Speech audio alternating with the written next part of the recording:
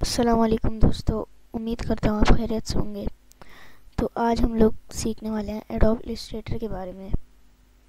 तो ये जो है एक ग्राफिक डिज़ाइनिंग का एक पार्ट एक हिस्सा समझ लीजिए, ये एक चीज़ है। जिस पर हम ग्राफिक डिज़ाइनिंग कर सकते हैं लोगोज़ बना सकते हैं और स्केचेस बना सकते हैं। तो चलिए शुरू करते हैं। तो सबसे पहले आपने क्या करना है? जब आपका ये खुल जाएगा, मैं एक वीडियो भी बना दूँगा, जिस पे ये इंस्टॉल करने का बताया जाएगा। ठीक है जी? किस तरह इंस्टॉल होता है? तो सबसे पहले आपने क्या करना है? जब ये ऑन हो जाएगा तो इस तरीके की स्क्रीन आ जाएगी आपके पास। ठीक है? आपने क्रिएट न्यू पे जाना है। देन आपने आपने ए फोर सेलेक्ट कर लेना है। आपको जितने हाइट और विथ का चाहिए आपने उसका सेलेक्ट कर लेना है। मैं ए फोर लेता हूँ और क्रिएट कर लेता हूँ। तो देखिए, थोड़ा सा टाइम लेने वाला है जी, ये देखिए। अब ये खुल चुका है। अब इसमें आपने सबसे पहले, मैं इसके बारे में थोड़ा सा इंस्ट्रक्शन दे देता हूँ।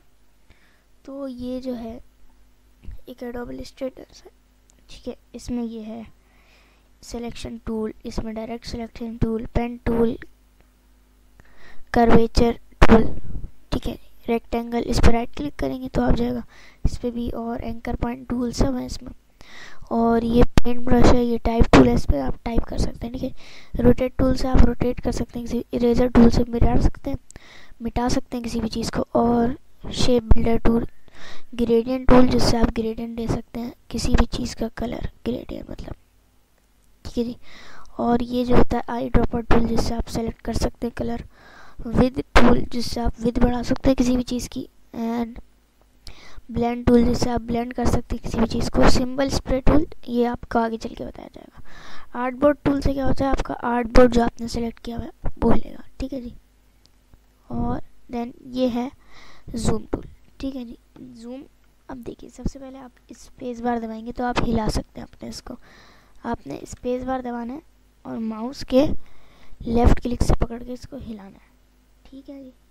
लेफ़्ट क्लिक से ये हिलेगा। ठीक है जी? आपने इसको मूव कर सकते हैं। अब जूम इन और जूम आउट का क्या है? चक्कर। तो उसके लिए आपको ऑल दबाना है कीबोर्ड में और स्क्रोलर से आप जूम और जूम आउट जूम और जूम आउट कर सकते हैं। ठीक है जी?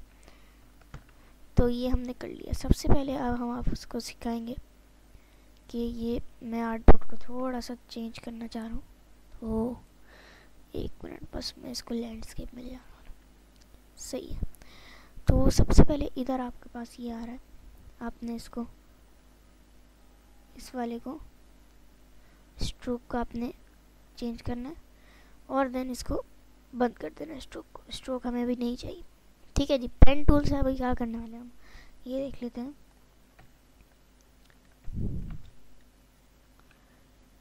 पेन टूल ठीक है जी। सबसे पहले आज हम बना लें टेबल ठीक है जी। वो किस तरह बनेगी, ठीक है? मैं किसी गैर वेक्टर और इमेज के बना रहा हूँ। तो इसलिए ज़रा सा भी थोड़ा सा मसला होता है ना तो ये ख़राब हो जाती है। सॉरी ठीक है जी, आपने सेलेक्ट करके इसको हटा देना। पी दबाने से आपका ये पेन टूल आने वाला है। ठीक है जी? आने वाला है।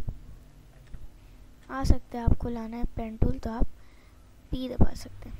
ठीक है जी, अब मैं इसको आपने किस तरीके से बनाना है, ये सब आपको मैं बताते चलूँगा जितना ही हम जाते जाएँगे। ठीक है जी, मैं इसकी हर एक वीडियो अपलोड करते जाऊँगा।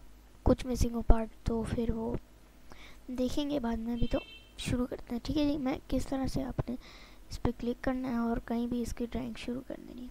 ठीक है जी now you can see the part of the table is completed okay so ये बन चुकी है हमारी टेबल ओके अब हम इसके पाए बनाने वाले हैं।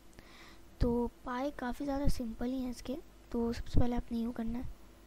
करने के बाद आप, मैं थोड़ा सा डिफ़िकल्ट नहीं कर रहा अभी। मैं नॉर्मल पाए बना रहा हूँ इसके अभी। ओके आगे चल के हम इस टेबल को और इन्हेंस कर देंगे। फिर इसके थोड़े मैं डिफ़िकल्ट वाले बनाने वाला ठीक है जी, अभी मैं जूम कर दिया बहुत ज़्यादा। जी बताए I know I have zoomed यहाँ पे एंड देन अब देखिए आपने इससे ऊपर कर देना है। इससे ऊपर हो सकता है। किस तरीके से? वो मैं आपको बाद में बताता हूँ। ठीक है जी? ये पाया बन चुका है एक। सॉरी ठीक है जी? तो अभी आपने इसको जूम आउट कर लेना ये एक पाया ठीक है जी? अब आपने इसी तरीके का दूसरा बनाना है तो आप फ़िक्र नहीं कीजिए। आपने ऑल इसको सेलेक्ट कर लेना फिर ऑल दबा के इसको कॉपी कर लेना सॉरी ऑल दबा के इसको कॉपी कर सकते हैं आप। क्या हो गया?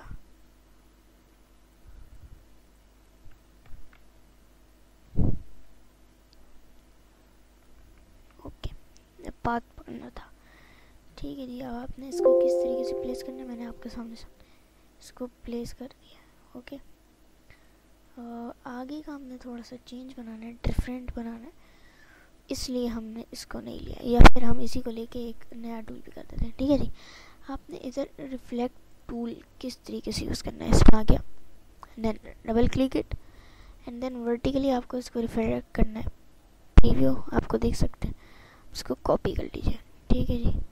Then you had go this okay जी तो ये जो पार्ट है, ये आपका इधर आ जाएगा। एंड नाउ इसको मैं थोड़ा सा इधर कर लेता हूँ। सही है जी। वहाँ चौथा पाया बना दे दूँ या मैं नहीं बनाऊँ। नहीं बनाऊँ क्योंकि वो दिखेगा नहीं हल्का सा भी।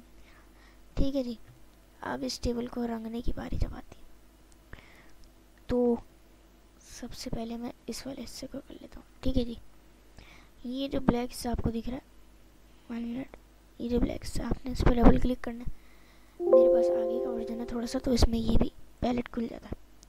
मैं इस पर डबल क्लिक कर दिया direct now you had got dark brown colour get the brown brown color from this table okay there is dark brown color okay mm. okay here you go no that's look weird That here you go now where they are same no their look is to make different from a part of the okay here you go and now you have to select all आपको बताता चलूँ कि ये select में कैसे select all कर हूँ select all में शिफ्ट दबा के आपने ये एक सिलेक्ट करेगा ठीक है? शिफ्ट दबाया आपने। आपको स्ट्रोक में ब्लैक दे देता हूँ। जो कि थोड़ी सी भी सीख सकते एलिप्स मुश्किल कर दे रंग दे सकते हैं।